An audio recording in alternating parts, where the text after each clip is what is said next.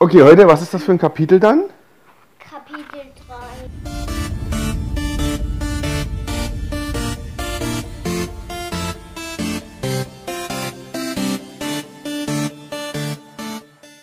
3. Nicht.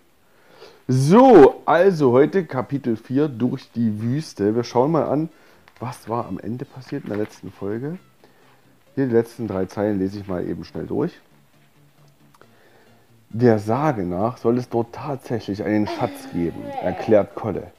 Angeblich sind schon viele aufgebrochen, um ihn zu suchen, doch es ist noch niemand zurückgekehrt. Vielleicht sollten wir mal nachsehen, schlägt Primo vor. Nur mal kurz, meine ich. Das werden wir bestimmt nicht tun, entscheidet Willard. Schätze könnt ihr später suchen, wenn Kolle geheilt ist. Jetzt müssen wir erstmal die Wüste hinter uns bringen. Und glaubt mir, das wird Kapitel 4. Übrigens wissen wir doch jetzt, wer ist das mit dem Kürbiskopf? Wer ist das? Kolle. Genau. Und wer ist das? Wer ist das ohne Kürbis? Das Lilane hier vorne? Ähm, der echte Kolle. Ich weiß nicht, ich denke mal, das hier vorne, also Kolle ist der mit der Kürbismütze, ne?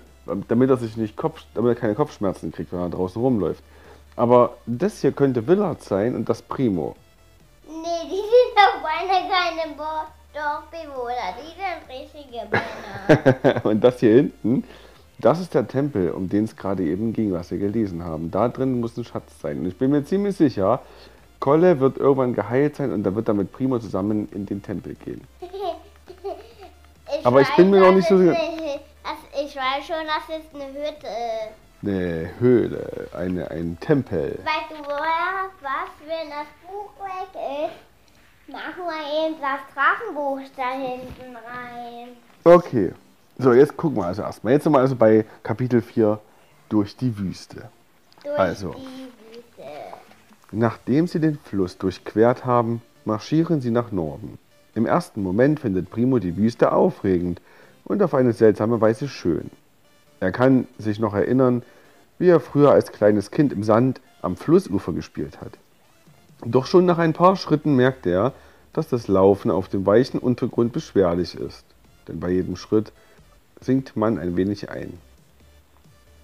Außerdem wird ihm bald heiß. Können wir mal eine Pause machen? bittet er. Wir stapfen jetzt schon seit Ewigkeiten durch diese öde Wüste. Seit Ewigkeiten? fragt Willard. Wir sind doch gerade erst losmarschiert. Primo dreht sich um und starrt verblüfft auf den Waldrand, der viel näher hinter ihnen liegt, als er erwartet hätte. Die Wüste scheint sein Zeitgefühl zu verwirren. Lasst uns lieber weitergehen, sagt Willard. Wir müssen vor Anbruch der Nacht einen sicheren Unterschlupf finden. Mühsam stapfen sie weiter, überqueren Berge aus Sand und kommen an seltsamen Gebilden vorbei, die wie grüne, aufeinander gestapelte Kürbisse aussehen, jedoch spitze Stacheln haben. Ich kann nicht mehr, keucht Kolle, als sie einen weiteren Sandberg erklommen haben. Mir ist so heiß in diesem Kürbis, ich muss ihn abnehmen. Nur kurz. Nein, widerspricht Willard scharf. Die Sonne brennt hier in der Wüste intensiver als in der Ebene.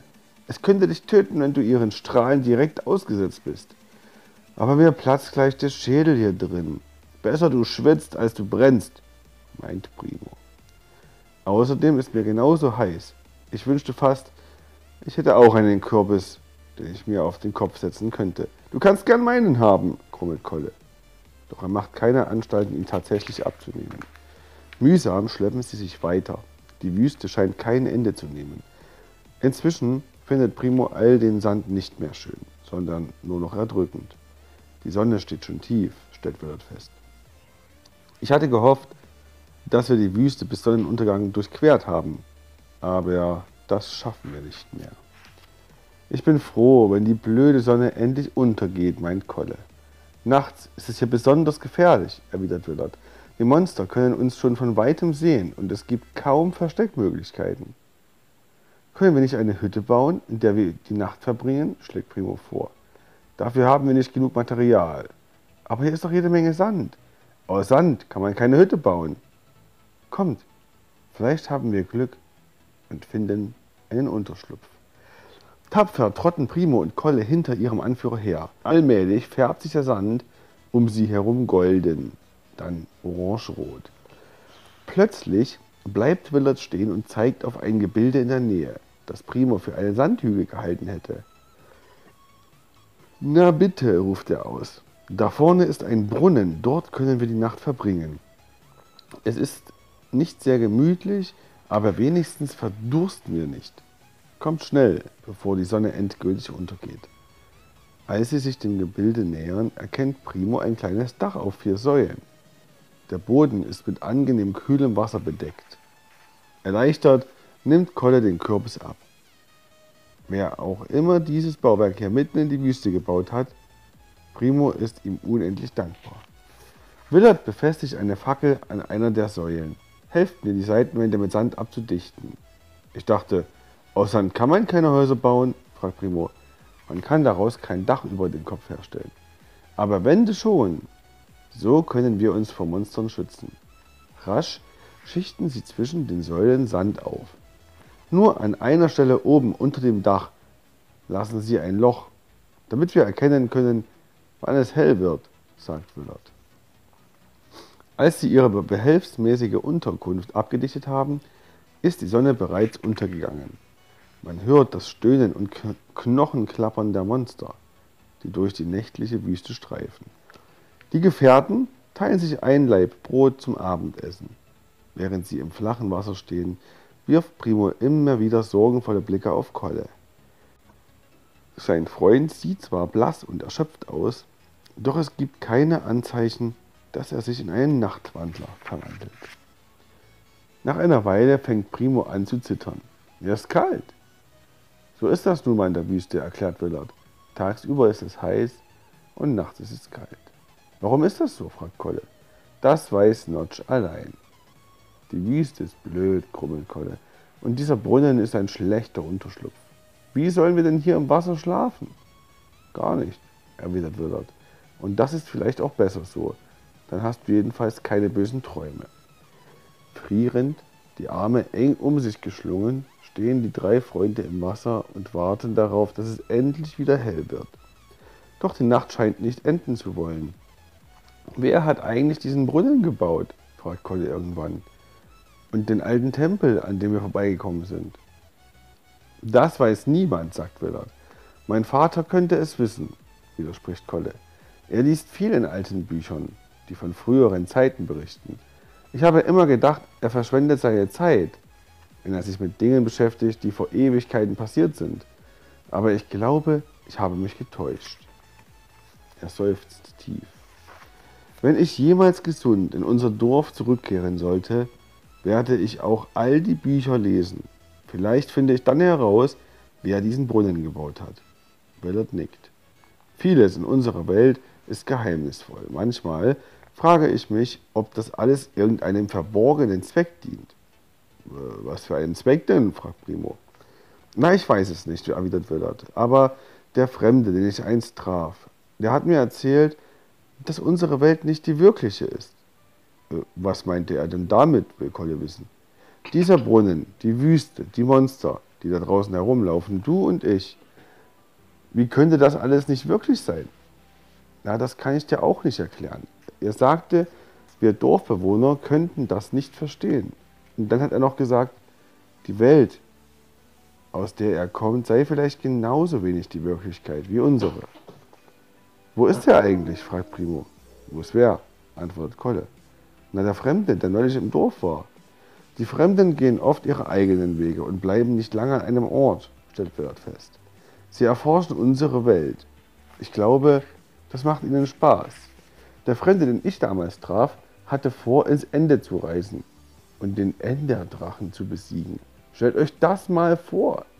Ich dachte immer, das mit dem Enderdrachen sei nur ein Märchen, bemerkte Kolle. Vielleicht ist es das auch, erwidert Willard. Bei den Fremden kann man nie so genau wissen, ob sie einem die Wahrheit sagen oder nicht. Aber ich glaube, er meinte das ernst. Und wie wollte er dorthin kommen? Ins Ende? fragt Primo. Das hat er mir nicht verraten. Sie unterhalten sich eine Weile.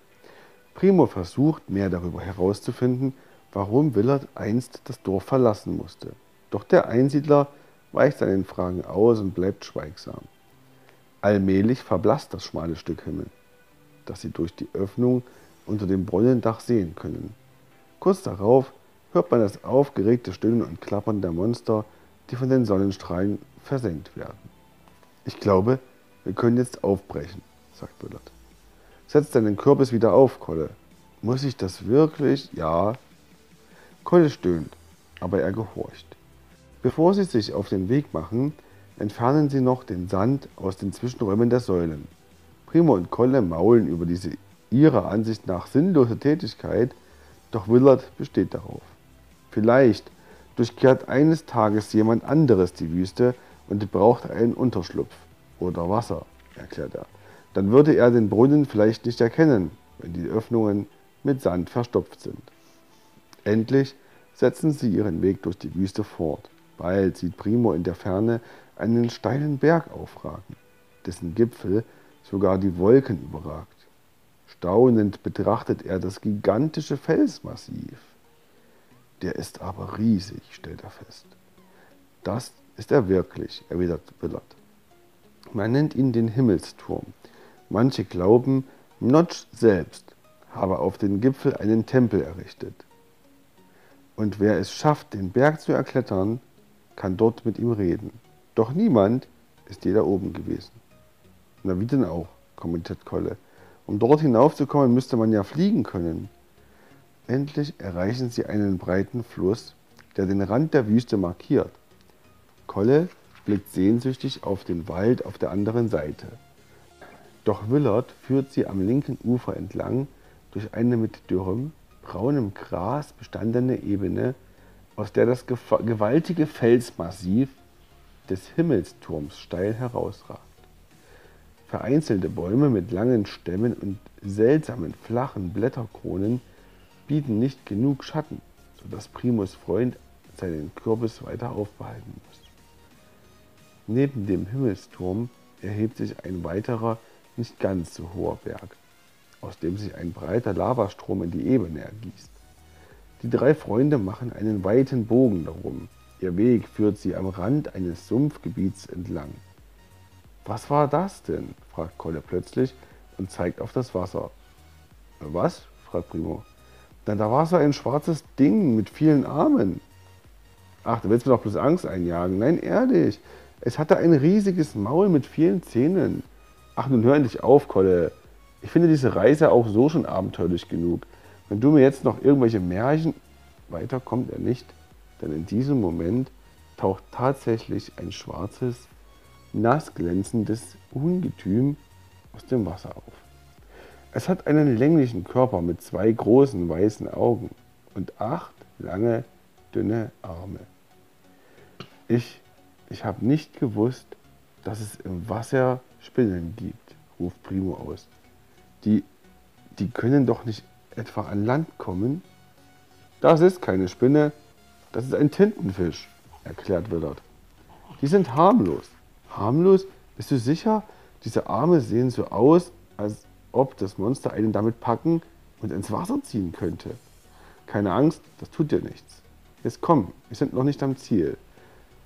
Als sie einen Ausläufer des Himmelsturm-Felsmassivs am Ufer des Sumpfes umrunden, bleiben Primo und Kolle abrupt stehen.